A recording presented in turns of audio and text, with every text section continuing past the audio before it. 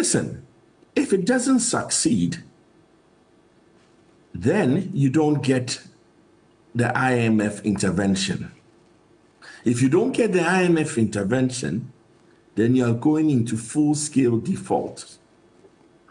Then you're going into nobody's going to give you any money. And remember that in Ghana, if we take two items, debt service and salaries and compensation, it adds up to over 100% of our income.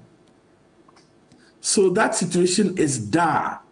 We're going to look like Sri Lanka. We're going to have a problem with our banks. We're going to have problems everywhere. At this moment, I cannot countenance anything else but having the IMF come in, hold a big stick over us for us to do the right thing. And to get there, we have to have some form of domestic haircut.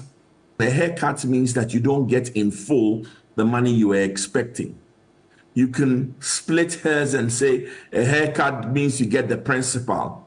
But hey, if you give me my principal 15 years after I got it, inflation will deal with my money. If you give me a, a, a, a, year of holding my money and give me zero return, what about the time value of money? So, well, I choose to call it a haircut because you don't get the full value of your money. But call it what you want. In any case, it's a fair complaint. There's nothing we can do about it. We have to comply.